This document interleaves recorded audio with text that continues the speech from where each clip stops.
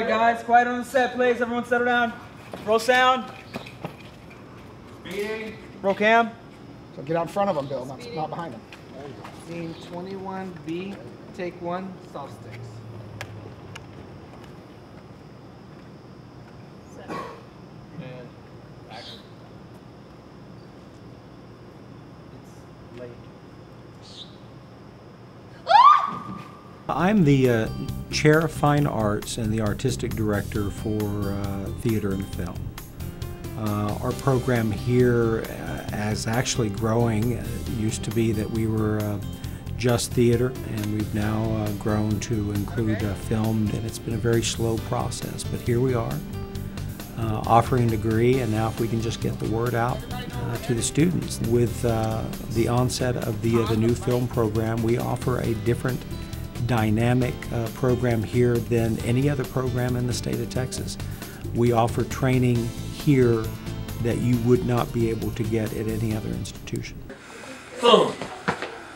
Yeah. Yeah. A little bit of a kick Brian is Amber. as he hits you in the face.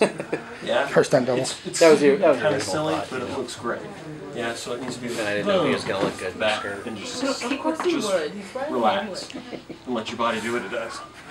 The program is small, but it's it's it's big in scope. Um, so no matter what it is that you want to do, whether you want to do editing, you want to do sound, you want to do lighting, you want to do camera work, you want to do directing, you, uh, you want to do producing, San Jacinto College's video and film production degree program is the place for you. It allows for some self-structure, some self-growth and your desire to fulfill those kind of things, and it doesn't really lock you into any one thing. If you decide after a semester you want to shift and do something else, you know, we'll work with you to make that happen so that you get the education that you want and that you still meet those things that are that are required by the state. I'm looking for students that are self-starters, students that are self-motivated, that really want to learn about filmmaking. This is a hands-on course.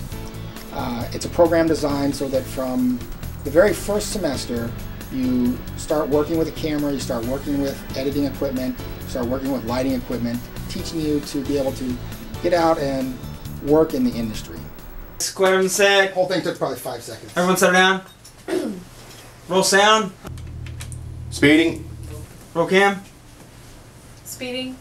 Scene 16A, take one, quiet sticks. Set. And action.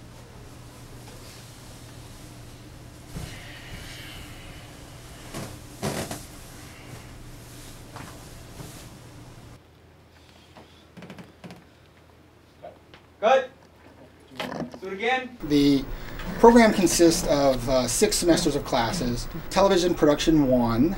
Also, that same semester, we have the Writing for Electronic Media course. Then, their second semester, they would take Television Production 2 course and an Introduction to Cinematic Production. The first summer course a freshman student would take would be Television Production 3. Then you get to this, the first fall semester for a student that would be a sophomore. Practicum to Electronic Media course.